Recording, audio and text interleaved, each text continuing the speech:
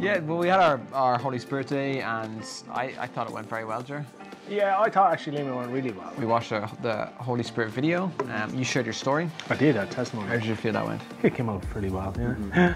I, I was personally thanked by a young guy, and he said he had a completely different outlook on life once he heard my testimony. I just Really? yeah, He said that? Yeah, yeah. honestly, Wow. yeah. And then we just had chats in groups. We played some games. We tried to, they tried to duct tape their friends to the wall, so Full of fun, that yeah. they had them stand on a chair, yeah. and then they pulled the, the chair. Well, they finished duct taping them, and then pulled the chair under, and none of them. We, they were supposed to last a full minute, and none of them lasted a minute. So I thought the duct tape would hold them, but it didn't. And then we gave them pizza. Uh, what we did was we, we took half the group off to a different room, um, and uh, we did the, the second Holy Spirit video, where it talks about how to be filled with the Holy Spirit. Uh, we just sat in our groups, watched that video, and then we had them go and do the, the prayer spaces.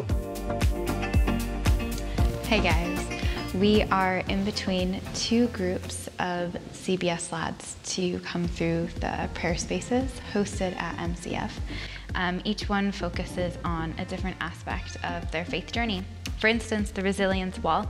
This is a great one that really helps the young people reflect on things they have in their life that help them get through tough times. So, on some of the bricks, we have things like God, which is always wonderful to see, friends, uh, my sister. My personal favorite is Youth Alpha. Thanks for watching the Youth for Christ Ireland vlog. See you next time. So that was that was excellent. Um, and then on their way out, we, myself and another guy, we offered to pray for them. I had one guy. We were chatting at the beginning just about football.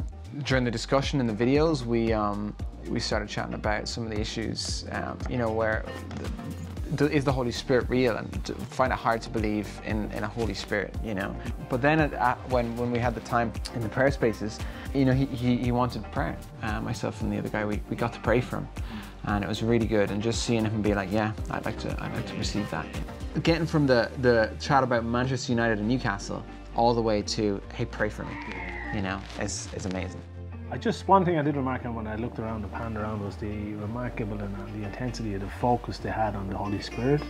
It was different than some of the others. There was intense focus there. I thought, you know, fun-filled, uh, a very exciting day. God-filled, I think. Holy God-filled, yeah, exactly, yeah. This has been the Youth for Christ Ireland vlog. Guys, you've heard a lot um, about our Holy Spirit Day with these Alpha guys. We've been journeying with them already for seven weeks, and we're going to be going for another four or five weeks. We would love you to keep praying for these guys. Uh, like we said, as they're just processing some of this information from the Holy Spirit Day, keep them in your prayers, keep thinking about them. Um, we just really want to see God move um, in Mullingar and all around Ireland. So thank you for watching, and until next time.